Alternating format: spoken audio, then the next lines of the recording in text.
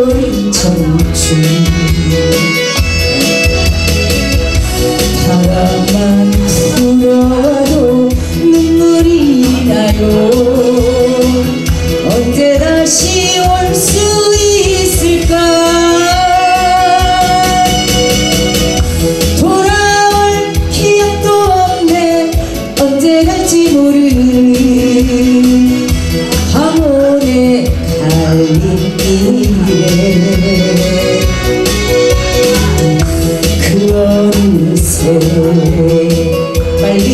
왔는지 그 어느새 빨리도 왔는지.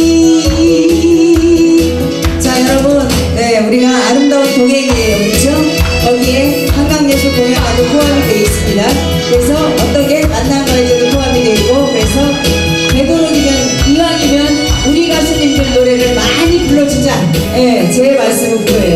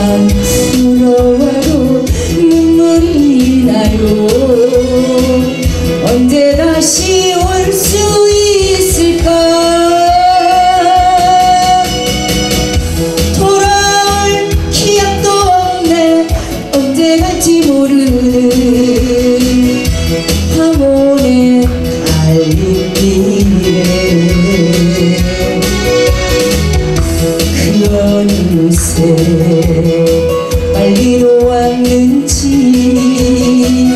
그릇에 빨리도 왔는지. 그릇에 빨리도 왔다고. 서글퍼도 아쉬워도 말아요.